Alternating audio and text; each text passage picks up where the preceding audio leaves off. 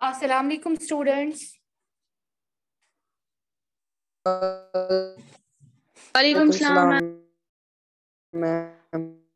वालेकुम सलाम आपकी फिजिक्स क्लास है और हम जो अभी चैप्टर पढ़ रहे हैं वो है वर्क एनर्जी एंड पावर आपको याद हो हम लोगों ने लास्ट सेशन में आप प्लीज़ अपनी माइक्स पहले ऑफ़ कीजिए। सभी लोग अपनी माइक्स ऑफ़ करेंगे। ओके तो मैं कह रही थी कि हम, हमारा जो लास्ट सेशन था मतलब कि हमारी जो लास्ट क्लास थी, उसमें हम लोगों ने क्या पढ़ा? उसमें हम लोगों ने पढ़ा कि काइनेटिक एनर्जी पोटेंशियल एनर्जी क्या होती है और हमने काइनेटिक एनर्जी का डेराइवेशन देखा, ठीक? तो आज के सेशन में हम लोग देखने जा रहे हैं कि पोटेंशियल एनर्जी जो है उसका जो फॉर्मूला है, ठीक से उसका डेराइवेशन कैसा है? तो आज हम ये डिस्कस करने जा रहे हैं। लेकिन उससे पहले मैं आप लोगों को बताना चाहती हूँ कि पोटेंशियल एनर्जी फिर से एक बार क्या है, ठीक है? तो देखिए, मैंने लास्ट टाइम भी कहा था, अगर हम पोटेंशियल एनर्जी की डेफिनेशन देखें तो पोटेंशियल एनर्जी का जो डेफिनेशन है that is what that is energy posited by a body due to due to position और शेप ठीक है? तो कोई भी बॉडी जिसमें कुछ एनर्जी प्रेजेंट होती है, उसकी शेप की वजह से या उसकी पोजीशन की वजह से, उसको हम लोग पोटेंशियल एनर्जी कहते हैं, ठीक है? इसका मैं आज डेमोन्स्ट्रेशन भी दिखाऊँगी तो आपको मतलब आसानी होगी समझने में कि पोटेंशियल एनर्जी में जो है, वो एक्चुअली में क्या होती है, ठीक है? पोटेंशियल एनर्जी जो है, ये दो तरह की मतलब आप समझो कि पोटेंशियल एनर्जी जो है, आप रफली अगर इसको आप डिवाइड करो सब डिवाइड करो तो इसकी दो कैटेगरीज बनती है।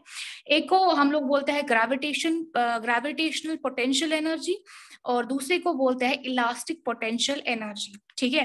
तो जब हम बात करते हैं पहली एनर्जी की, जिसको हम लोग बोलते हैं ग्रेविटेशनल पोटेंशियल एनर्जी वो क्या एनर्जी होती है? वो वो वाली एनर्जी होती है जो किसी ऑब्जेक्ट में तब आती है जब हम उसको किसी हाइट पे रेज करते हैं। फॉर एग्ज़ाम्पल अगर मेरे पास आ, कोई कोई भी ऑब्जेक्ट है से अभी मेरे पास मार्कर है तो मैं इस मार्कर को क्या कर रही हूँ? मैं इसको ये पहले ज़मीन पे था फिर मैंने इसको क्या किया? मैंने इसको लिफ्ट किया अपने हाथ से और किसी हाइट पे इसको रख दिया। तो इसका मतलब है कि ये जो मार्कर है अब इसके पास पोटेंशियल है एनर्जी है। किसकी वजह से? मैंने क्या किया? मैंने इसको किसी हाइट पे रेज किया। तो इसमें क्या आ गई? इसमें पोटेंशियल एनर्जी आई। और एक बात जितना मैं इसको ज़्यादा मतलब ऊपर ऊपर लिफ्ट करूँ उतनी इसकी जो पोटेंशियल एनर्जी है वो उतनी ही क्या हो जाएगी? उतनी ही बढ़ जाएगी। ये आपको तब पता चलेगा जब हम पोटेंशियल एनर्जी का एक्सप्रेशन देखेंगे और तब हमें पता चलेगा हाइट जो है मतलब कि जितना मैं इसको ज़्यादा ऊँचा ऊपर ऊपर करूँगी, उसकी वजह से कैसे पोटेंशियल एनर्जी जो है वो रेज हो जाएगी, ठीक? इसके अलावा जो मैंने दूसरा बोला था, वो है इलास्टिक पोटेंशियल एनर्जी क्या है? इलास्टिक पोटेंशियल एनर्जी ठीक है? तो ये इलास्टिक पोटेंशियल एनर्जी जो है, वो क्या होता है? Uh, कोई भी ऑब्जेक्ट जो आपके पास है उसमें पोटेंशियल एनर्जी का होना उसकी शेप की वजह से ठीक है? उसको हम लोग इलास्टिक पोटेंशियल एनर्जी कहते हैं। जैसे इसमें हम एग्ज़ाम्पल ले, ले सकते हैं बो की। ठीक है जो बो होता है अगर मतलब जब वो मतलब अभी तीर हमने लगाया नहीं होता है तो वो स्ट्रेचड पोजिशन में होता है ठीक है? तो उस वक्त उसमें जो एनर्जी प्रेजेंट होती है that is what that is elastic potential energy या इसके अलावा आपके पास स्ट्रेचड रबर बैंड अगर होगा ठीक है उसमें भी क्या होती है? इलास्टिक पोटेंशियल एनर्जी होती है या आपके पास वाउंड स्प्रिंग होता है मतलब कि Uh, कोई कॉइल्ड फॉर्म में कोई जीन्स जो आपने मतलब वलित वॉन्ड ठीक है? It's not wound wound is जख्म ठीक है? दिट इज़ वाउंड वाउंड मतलब कि विलिथ ठीक है? तो अगर आपके पास वाउंड स्प्रिंग होगा मतलब कि आप समझो, किस तरीके से समझाओ आप जैसे थ्रेड होता है, वो किसी पे हम नहीं उसको वॉन्ड करते हैं, कोई कार्डबोर्ड का पीस होता है उस पर हम लोग उसको क्या करते हैं वॉन्ड करते हैं। तो उसमें जो एनर्जी होती है that is called as what that is called as elastic potential energy ठीक है? तो यहाँ तक आपका कंसेप्ट क्लियर हुआ ग्रेविटेशनल पोटेंशियल एनर्जी जो है वो किसको कहते हैं और इलास्टिक पोटेंशियल एनर्जी किसको कहते हैं? सब लोगों को दोनों चीज़ें समझ में आ गई? अरे जवाब दीजिए। Okay okay.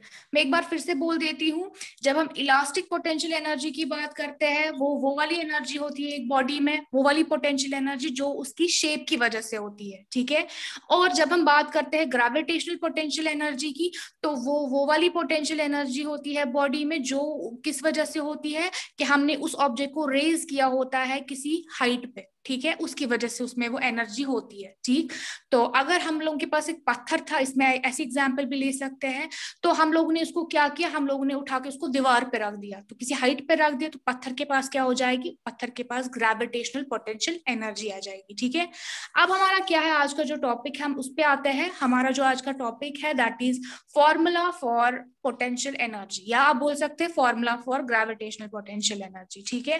तो अब हमें देखना है कि अगर हमारे पास पोटेंशियल एनर्जी है, मैंने पहले ही बोला ये फ़िज़िकल क्वांटिटी है, अगर ये फ़िज़िकल क्वांटिटी है तो हम इसको एक्सप्रेस कर सकते हैं। तो ये अब हमें आज देखना है कि जो पोटेंशियल एनर्जी होती है, इसका फॉर्मूला क्या है? इसको हम लोग मतलब इसकी डिपेंडेंस जो है वो किस किस क्वांटिटी पे है? ठीक है, जब हमें डिपेंडेंस पता चल जाएगी तभी हम इसका वैल्यू जो है वो कैलकुलेट कर सकते हैं, ठीक है? तो अब मैं आपको डिराइवेशन दिखा देती हूँ।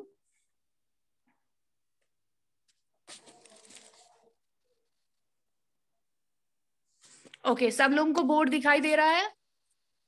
यस ओके ओके तो मैंने बोर्ड पे लिखा हुआ है फॉर्मूला फॉर पोटेंशियल एनर्जी सब लोगों को दिखाई दे रहा है इतना?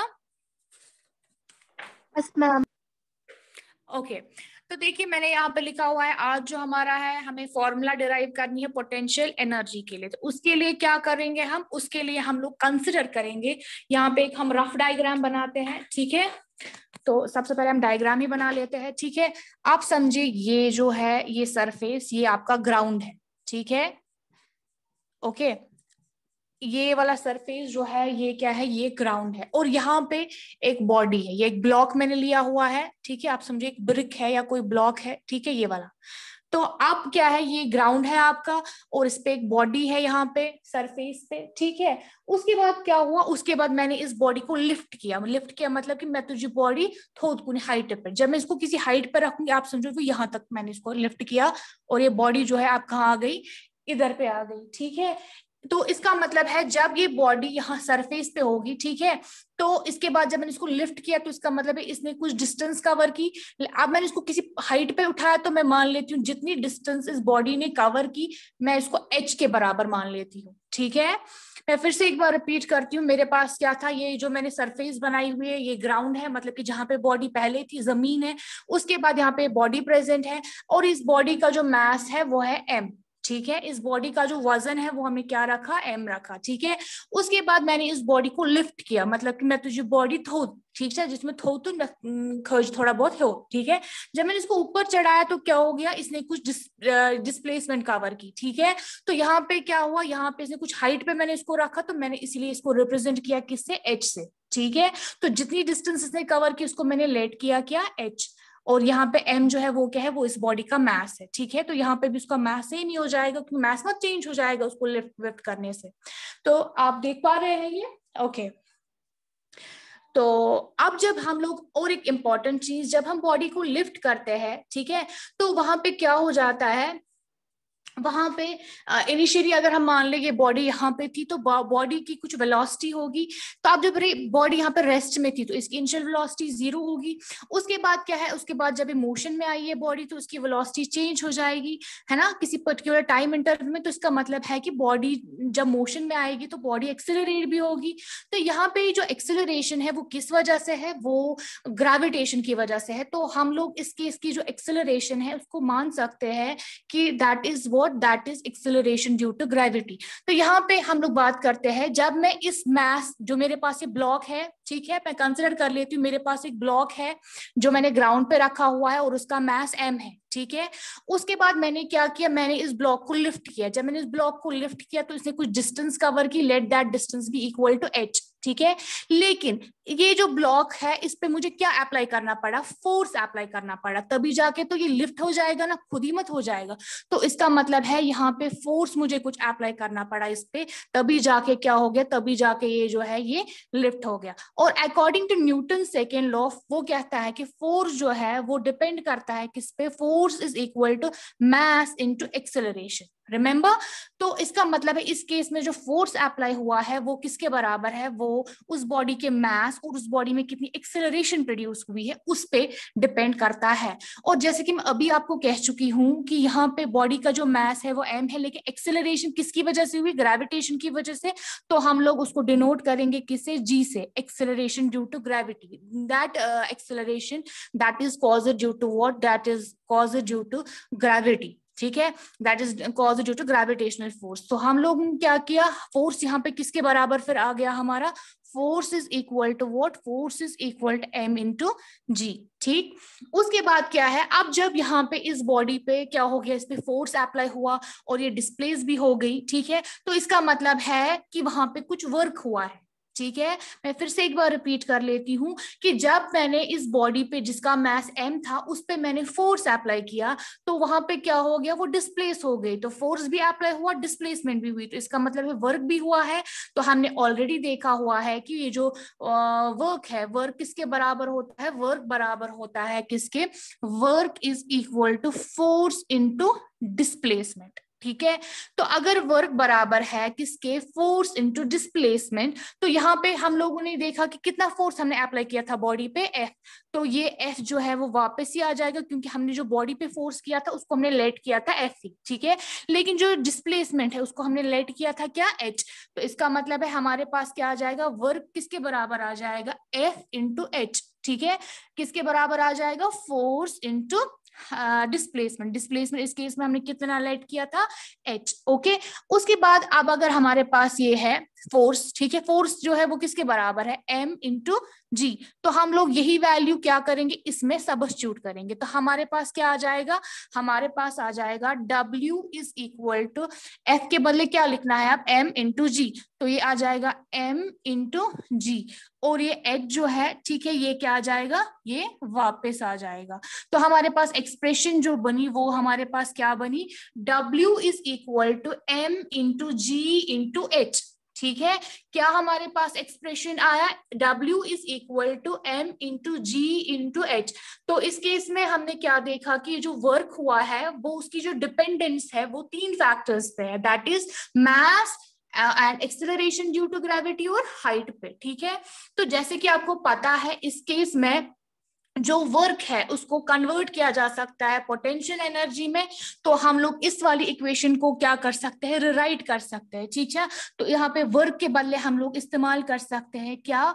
ईपी e मतलब कि पोटेंशियल एनर्जी क्योंकि ये हमें पता है कि ये जो वर्क है, ठीक है? ये जो बॉडी वर्क कर सकता ये सॉरी ये जो वर्क है, उसको हम लोग कन्वर्ट कर सकते हैं किसमें पोटेंशियल एनर्जी में, क्योंकि मैंने अभी बोला, जब हम लोग ऑब्जेक्ट को लिफ्ट करते हैं तो क्या हो जाता है? तो वहाँ पे क्या हो जाता है उसका पोटेंशियल एनर्जी जो है, वो उसमें कन्वर्ट हो जाता है। तो यहाँ पे हम लोग वर्क को रिप्लेस कर सकते हैं किससे? पोटेंशियल एनर्जी से, क्योंकि दोनों चीज़ें सेम ही हो जाएँगी, ठीक है? तो हम लोग इस इक्वेशन को रिराइट कर सकते हैं, लिख सकते हैं वर्क के बदले क्या? EP EP is what EP is potential energy ठीक है? या आप पीई e भी लिख सकते हैं। पीई e लिख दे या ईपी e लिख दे तो एक जैसी बात है। और वो किसके बराबर आ जाएगा? M into g into h तो ये वाली एक्सप्रेशन जो है आपके पास या आप इस तरीके से भी लिख सकते हैं ठीक है?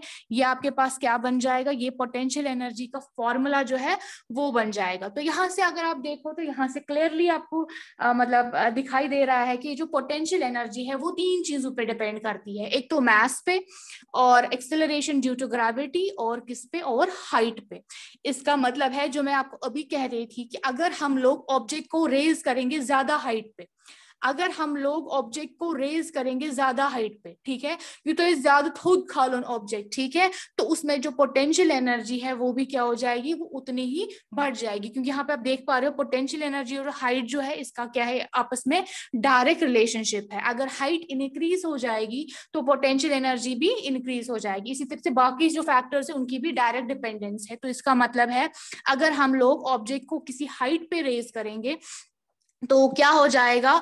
तो ये जो पोटेंशियल एनर्जी है उसकी उस बॉडी की, वो भी क्या हो जाएगी? वो भी बढ़ जाएगी, उतनी ही, ठीक है? तो यहाँ पे हम लोग एक सिंपल डेमोन्स्ट्रेशन देख लेते हैं। एक आयरन नेल से हम लोग इस बात को समझते हैं कि किस तरीके से ये जो पोटेंशियल एनर्जी है, ठीक है, ये कम ज़्यादा हो सकती है हाइट को इंक्रीज और डिक्रीज करने से, ठीक है? तो हमारे पास एक सिंपल डेमोन्स्ट्रेशन है और डेमोन्स्ट्रेशन में हम लोग क्या करेंगे? हम लोग एक आयरन नेल लेंगे, ठीक है? उसको हम लोग क्या करेंगे? उसको हम लोग आयरन नेल को घुसाएँगे हम लोग किसमें मतलब इंसर्ट करेंगे किसमें किसी वुडन ऑब्जेक्ट में, ठीक है? और हम देखेंगे जब हम लोग इस हैमर को कम हाइट पे रखेंगे, उसके बाद हम उस पे क्या करेंगे? उसके बाद वो उसको हिट करेगा। तो उस टाइम पे क्या हो जाएगा? ये वो जो आयरन नील होगा, ठीक है? वो उसमें जाएगा, लेकिन बहुत ही कम। लेकिन जब मैं हाइट बढ़ा दूँगी उसकी मतलब कि आयरन नील सॉरी ये जो हैमर है, उसको मैं ज़्यादा हाइट पे रखूँगी, और उसके बाद मैं इसको हिट कराऊँगी, किस पे? आयरन नील पे। तो क्या हो जाएगा? ये जो हैमर है सॉरी ये जो आयरन नील है, ये ज़्यादा संजीदगी से किसमें चला जाएगा? उस वुडन ब्लॉक में या वुडन पीस जो भी मैंने लिया हुआ होगा, ठीक है? तो हम लोग एक्सपेरिमेंटली देख लेते हैं।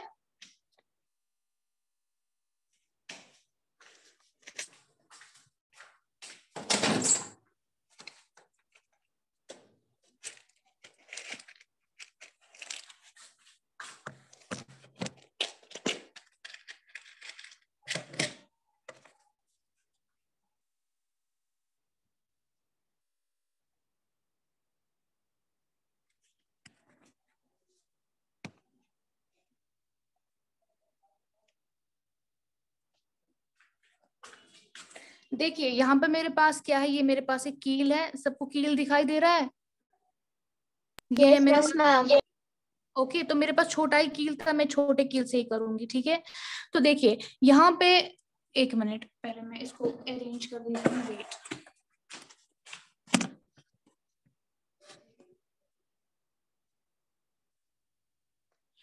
ओके okay, देखिए अब मेरे पास ये आयरन नील है ठीक है? इसको मैं क्या करूँगी? इसको मैं रखूँगी पॉइंट करूँगी किस पे, इस पे, ठीक है? उसके बाद ये मेरे पास हैमर है, इसको मैं इतनी हाइट पे रख रही हूँ पहले, ठीक है? और उसके बाद मैं इस कील को इंसर्ट कर रही हूँ उसमें ठीक है? कर रही हूँ, ठीक है? तो देखिए, इसका थोड़ा सा ही पोर्शन जो है, ठीक है, वो इसमें चला गया, जब मैंने इसको कम हाइट पे रखा, ठीक? अब मैं इसकी हाइट इंक्रीज कर लेती हूँ और उसके बाद उसको हिट करती हूँ, ठीक है? लेकिन हिट करना चाहिए किस पे? आए इस पे ही, ठीक है? उसके बाद इतनी हाइट बढ़ा दी, अब उसके बाद और हिट करती हूँ। देखिए, इससे ज़्यादा गया। जितनी मैं हाइट इस पे रेज करूँगी, ठीक है? उसके बाद हिट सॉरी इसके बाद हिट करूँगी तो क्या हो जाएगा? ये आयरन नील जो है, ये ज़्यादा संजीदगी से क्या हो जाएगा? इस वुडन ब्लॉक के अंदर चला जाएगा, ठीक? इसका मतलब है कि जब मैंने हैमर को यहाँ पे पकड़ा, ठीक है तो इसकी जो पोटेंशियल एनर्जी है, से आप समझिए, उस टाइम पे जो पोटेंशियल एनर्जी है इस हैमर की, वो कितनी है? आप समझ लीजिए, वो फाइव है। ठीक है फाइव जूल है। जब मैं इतना पकड़ूँगी, आप समझिए वो सिक्स जूल हो रही है, फिर उसके बाद सेवन उसके बाद एट एंड सो ऑन ठीक है? इसका मतलब है सिंपली क्या? कि ये जो ऑब्जेक्ट है ऑब्जेक्ट को हम लोग जितना ऊपर रेज करेंगे, ठीक है? उतना ही उसकी जो पोटेंशियल एनर्जी है, वो क्या हो जाएगी? वो इंक्रीज हो जाएगी। ठीक है? तो इसका मतलब है पोटेंशियल एनर्जी जो है, वो किस पे डिपेंड करती है? वो हाइट पे डिपेंड करती है। आपने जितना ही रेज किया हुआ होगा उस ऑब्जेक्ट को, उतनी ही उसमें पोटेंशियल एनर्जी ज़्यादा होगी। और इनशाला इसके बाद नेक्स्ट टॉपिक में हम लोग देखेंगे कि ये पोटेंशियल एनर्जी जो है, वो फिर कन्वर्ट हो जाती है काइनेटिक एनर्जी में, ठीक है? और पोटेंशियल एनर्जी और काइनेटिक एनर्जी को हम लोग एक साथ क्या बोलते हैं? मैकेनिकल एनर्जी मतलब कि एक बॉडी में कितनी पोटेंशियल एनर्जी और काइनेटिक एनर्जी होगी, उसको हम लोग एक साथ एक नाम दे देते हैं, जो है मैकेनिकल एनर्जी तो यहाँ पे जब मैंने इस ऑब्जेक्ट को जितनी हाइट पर रखा तो उसकी पोटेंशियल एनर्जी उतनी ही रेज हो जाती है। बाद में जब मैं इसको हिट करती हूँ तो मोशन में आ जाता है तो पोटेंशियल एनर्जी कन्वर्ट हो जाती है काइनेटिक एनर्जी में। मगर मेरे कहने का ये मतलब है, जितनी पोटेंशियल एनर्जी होगी, उतनी ही वो पोटेंशियल एनर्जी जो है वो कन्वर्ट हो जाएगी किसमें में काइनेटिक एनर्जी में। तो अगर पोटेंशियल एनर्जी ज़्यादा हुई तो वो ज़्यादा क्या हो जाएगी? काइनेटिक एनर्जी में कन्वर्ट हो जाएगा। आप इस तरीके से समझिए, अगर मैंने यहाँ पे इसको रखा, इधर पे इसकी पोटेंशियल एनर्जी फाइव है। जब ये मोशन में आ जाएगा तो इसका मतलब है कि इसकी जो काइनेटिक एनर्जी है, ठीक है, वो कितनी हो जाएगी, वो भी फाइव जूल हो जाएगी, समझ आई? तो इसका मतलब है कि आप ऑब्जेक्ट को कितनी हाइट पे रेज करेंगे, उसी लिहाज से उसकी जो पोटेंशियल एनर्जी है, वो भी क्या हो जाएगी, वो भी इंक्रीज हो जाएगी। आई होप आपको ये समझ में आ गया होगा।